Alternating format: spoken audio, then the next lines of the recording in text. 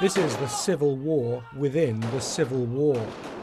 Jihadi fighters push through Yarmouk in Damascus. The so called Islamic State says this video shows their victory over other rebel groups there is complete. They've certainly never been closer to the heart of the Syrian capital. So while this battle takes place, the regime continues its siege of Yarmouk. Today, we ran out of food, and now it's the fifth day without water. No aid at all is getting into the camp.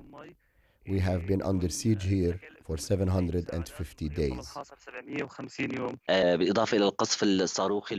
The regime keeps hitting Yarmouk with airstrikes and barrel bombs.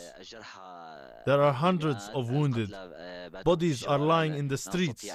We can't get to some of them because of IS snipers. Government rockets arc over Damascus to Yarmouk. IS is now just a couple of miles from the presidential palace. Opposition activists accuse the regime of letting IS get this far, using it to destroy other rebel groups. Whatever the cause, the suffering is undeniable.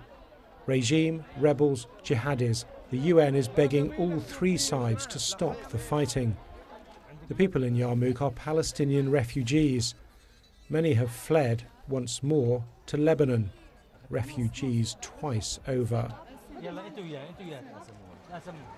When refugees first started coming here to Lebanon, the Free Syrian Army was fighting the regime. The FSA has been almost completely marginalised. The conflict is increasingly one of jihadis against the regime. To some, it seems as if President Assad now has the enemy he wants. Western governments have spent four years calling for his overthrow. Now they may have to do business with him. Paul Wood, BBC News, Beirut.